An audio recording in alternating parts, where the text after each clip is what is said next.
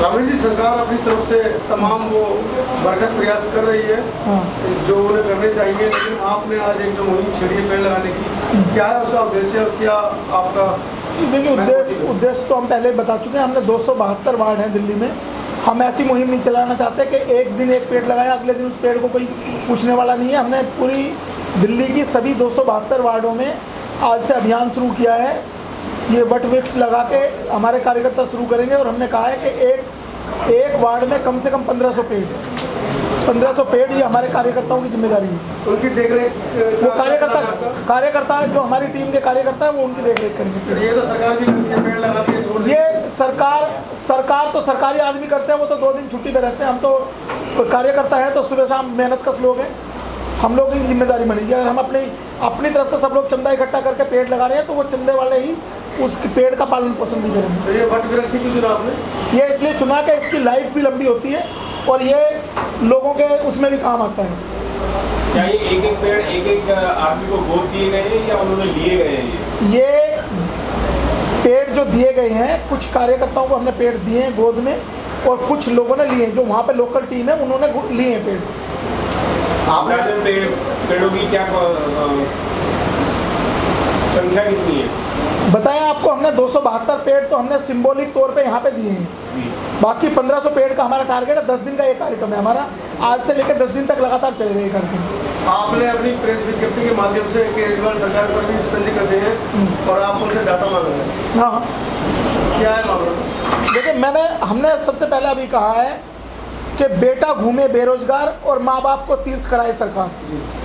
तो ये हमारा सबसे बड़ा मुद्दा है कि ये जो तीर्थ यात्रा की स्कीम ये जो लॉन्च करने की कोशिश की गई है, ये सरासर परिवारों में विघटन करने के लिए माँ बाप के माँ बाप का बेटे बेटा बेटी के प्रति विद्वेष पैदा करने के लिए ये स्कीम लॉन्च की गई है। और हम इस स्कीम के बारे में जानना चाहते हैं कि केजरीवाल अगर साढ़े चार साल तक बच्चों को रोज़गार दे देते, अगर बच्चों को रोज़गार मिलता तो वो अपने माँ बाप को तीर्थ यात्रा खुद करा सकते थे। तो ये केजरीवाल लास्ट में, आखिरी छः महीने में एक और गेम खेलना चाहते हैं कि वोट बैंक बनाने की तैयारी है कि बुज़ुर्ग माँ बाप को वोट बैंक बनाना चाहते हैं वो और इसलिए परिवार के अंदर एक विखंडन कराना चाह रहे हैं। हम इस स्कीम का इसलिए विरोध करते हैं कि ये परिवारों में विघटनकारी स्कीम है। आपने सरकार की फ्री कोचिंग जो नीति है उसको उसका विरोध किया? उसका सब, उसका विरोध नहीं किया। मैंने हमने अपनी प्रेस विज्ञप्ति में ये कहा है कि दिल्ली सरकार बताए वो बड़ा ढिंडोरा पीट रही है पिछले तीन चार दिन से। कि अंबेडकर साहब के सपनों को पूरा करेंगे, बाबा साहब के सपनों को पूरा करेंगे। तो पिछले डेढ़ साल में जो को, जो दलित बच्चों को कोचिंग दी गई है तो दिल्ली सरकार बताए कितने कोचिंग सेंटर से उन बच्चों को दिल्ली सरकार ने नौकरी दी है, या उन बच्चों ने टेस्ट क्वालिफाई किया है। ये सिर्फ़ आँख में धूल झोंकने वाली बात है। पिछले 14 अप्रैल 2015 को अगर आपको वाकया याद होगा तो दिल्ली विधानसभा के प्रांगण में बाबा साहब की मूर्ति पे माल्यार्पण करते हुए दिल्ली के झूठे मुख्यमंत्री ने यह कहा था कि दिल्ली में जितना भी बैकलॉग है, हम पूरा करेंगे। और मैं बार बार इस बात का विरोध भी करता रहा हूँ, मैं बार बार बोलता रहा हूँ इस बात को कि हमने दिल्ली का जो एक सफ़ेद बाल वाला मंत्री है, वो मंत्री बहुत ढिंडोरा पीटता के दलितों के लिए हो रहा है। मैंने उसके सामने भी ये सवाल उठाया कि आपने कहा बैकलॉग पूरा करेंगे, लेकिन पिछले साढ़े चार साल में तो कोई एक वैकेंसी नोटिफाइड नहीं हुई है। तो ये जो गुमराह किया जा रहा है बाबा साहब के नाम पे उन्हें लगता है कि दलित तो बाबा साहब के नाम के दीवाने हैं। बाबा साहब का नाम लो और ये चुंबक की तरह चले जाएँगे मेरे साथ। तो एक नया वो वो आज दिल्ली की सरकार वेंटिलेटर पे है। वो ऑक्सीजन की तलाश में और ऑक्सीजन क्या बनाना चाहती है वो? परिवारों में विघटन करा के बुज़ुर्गों को ऑक्सीजन बनाना चाहती है। अब बाबा साहब अंबेडकर के नाम पर दलितों को ऑक्सीजन बनाना चाह रही है। ये ऑक्सीजन की जो वोट बैंक है, ये जो ऑक्सीजन का वोट बैंक है, इस वोट बैंक की राजनीति को खत्म करने के लिए आपकी अपनी पार्टी दिल्ली में संघर्ष कर रही है और ये कार्यक्रम हमने चलाए हुए हैं।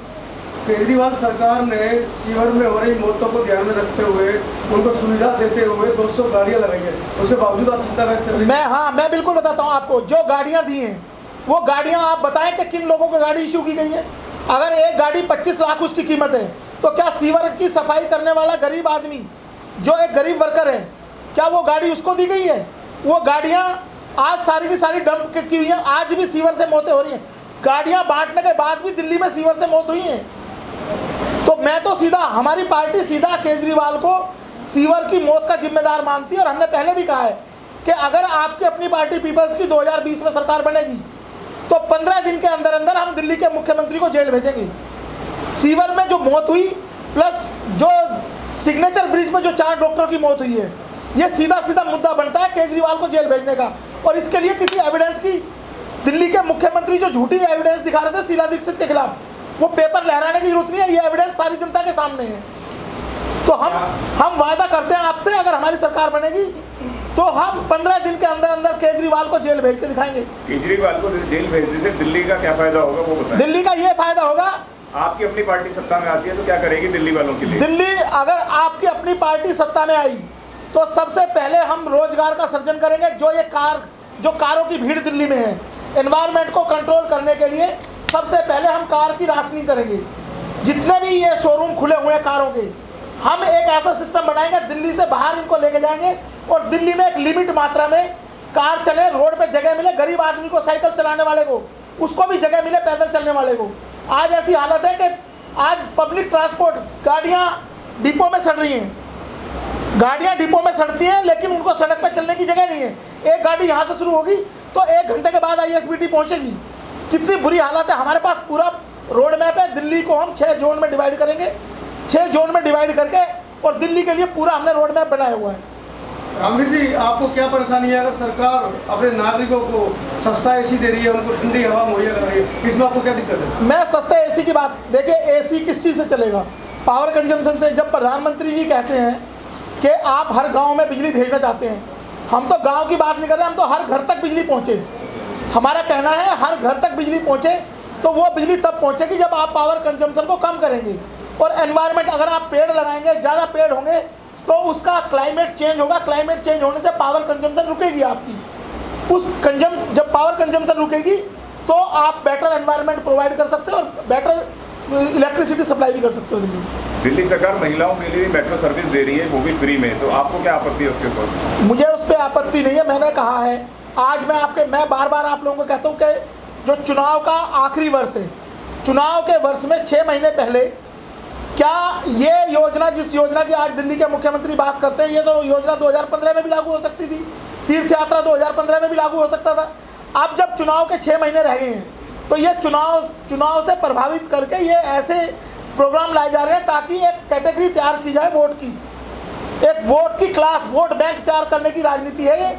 इसके अलावा ये कोई कार्यक्रम नहीं है। और दूसरा महिलाएँ, सिर्फ़ कामकाजी महिलाओं को तो आप सुविधा देना चाहते हैं। लेकिन जो महिला घर में रोटी बना रही है, जो पूरे परिवार को देख रही है, उस महिला के लिए क्या लाए आप? आप महिलाओं के बीच में ही भेदभाव करना चाहते हैं। ज़्यादातर दलित और गरीब वर्ग की महिलाएँ घरों में काम करते हैं, सारे दिन पानी की लाइन में खड़ी रहती हैं। उनके लिए क्या स्कीम है आपके पास? आप किस, किन महिलाओं को आप देना चाहते हैं? एक महिला को देना चाहते हैं, दूसरे का हक छीनना चाहते हैं। तो ऐसी स्कीम का कोई फ़ायदा नहीं है। और दूसरा, जिस स्कीम को आप इम्प्लीमेंट नहीं कर सकते, अगर केंद्र सरकार केंद्र सरकार की हिस्सेदारी दिल्ली मेट्रो है, उसके बाद तीन लोग पार्टी हैं तो एक आदमी कैसे डिसीज़न ले लेगा कि मैं इसको फ्री कर दूँगा? आप जनता में झूठ बोल के गुमराह कर रहे हैं जनता को।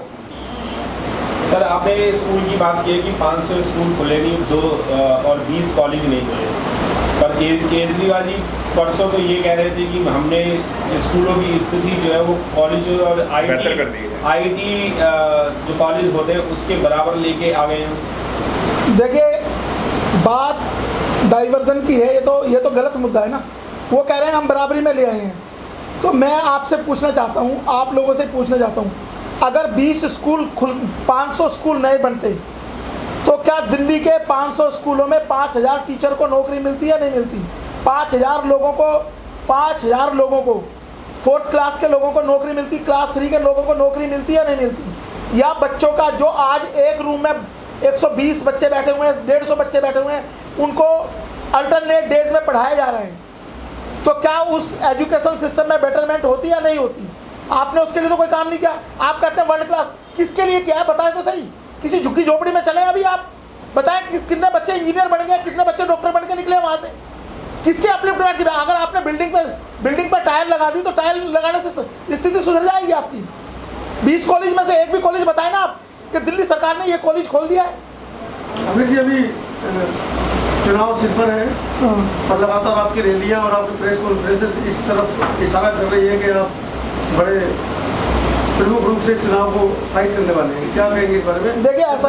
देखिए चलते चलते की बात आप जो पूछना चाहते हैं हम एक राजनीतिक दल हैं और राजनीतिक दल होने के नाते जिम्मेदार राजनीतिक दल होने के नाते चुनाव प्रक्रिया में भाग लेना ये हमारी प्राथमिकता है। इसलिए हम लोग चुनाव में भाग लेंगे। तो चुनाव में भाग लेंगे तो नेचुरल है कि हम भी अपनी बा- अपनी बात जनता के बीच में पहुंचाना चाहते हैं। और उसका माध्यम क्या है कि जो बड़े लोग हैं जिन्होंने संसाधनों पर कब्जा किया हुआ है हमारी पार्टी का एक ही उद्देश्य जो हम पहले बता चुके हैं we wants to introduce caste abolition act in this country हम सारी पार्टियों को चैलेंज करते हैं, इस देश की सारी पार्टियों को, कि अगर हिम्मत है, अगर देश को तुम भारतवर्ष बनाना चाहते हो तो कास्ट एबोलिशन एक्ट लेके आओ, ताकि इन संसाधनों का बराबरी का बंटवारा हो सके। और ये संसाधनों पर जिन दस, दो परसेंट लोगों ने कब्जा किया हुआ है, वो लोग नहीं चाहते कि इस देश में कास्ट सिस्टम खत्म हो। तो हमारा मेन उद्देश्य ये है कि देश में गैर बराबरी की व्यवस्था खत्म हो और बराबरी की व्यवस्था के लिए हम लोग काम कर रहे हैं। और हमारी पार्टी जिस दिन सत्ता में आएगी उसी दिन हम सबसे पहले कास्ट एबोलिशन एक्ट लेके आएँगे ताकि इस देश में क्लास बढ़ सके और क्लास संघर्ष कर सके गरीब गरीब और अमीर का संघर्ष हो सके यहाँ सर आपकी पार्टी जो है वो पाँच साल के लिए आ, आएगी अगर आप जीतते हैं तो। अगर आप सत्तर सीटें लेके आते हैं या उसके आसपास लेके आते हैं तो पाँच साल के लिए आप रहेंगे। तो क्या कास्ट रेवोल्यूशन जो है वो एक्ट जो है वो आप पारित कर पाएँगे? क्योंकि ये तो हज़ारों सालों से चला आ, आ रहा है। पाँच साल में इस चीज़ को कैसे एक हज़ार साल एक हज़ार साल पहले देश का संविधान नहीं था। देश का संविधान 1950 में लागू हुआ है पहली बात। दूसरी बात जब 1400 साल पुरानी व्यवस्था ट्रिपल तलाक खत्म हो सकती है अध्यादेश के ज़रिए तो एक कानून के ज़रिए कास्ट एबोलिशन भी हो सकता है। तो कैसे करेंगे? अभी जो एस टी और ओबीसी की जो जनगणना हुई है उसी का ही सरकार का चिट्ठा नहीं दे पा रही है जनता तो जनता इसका मतलब उन सरकारों की मानसिकता ठीक नहीं है? वो आपसे छिपाना चाहते हैं बेईमानी कर रही वो आपके साथ? ठीक है. धन्यवाद आप लोगों का। अगर आपने अभी तक हमारा चैनल सब्सक्राइब नहीं किया है तो सब्सक्राइब करें और घंटी का बटन बिल्कुल भी दबाना ना भूलें ताकि सभी लेटेस्ट खबरें पहुँच सकें आप पे सबसे पहले।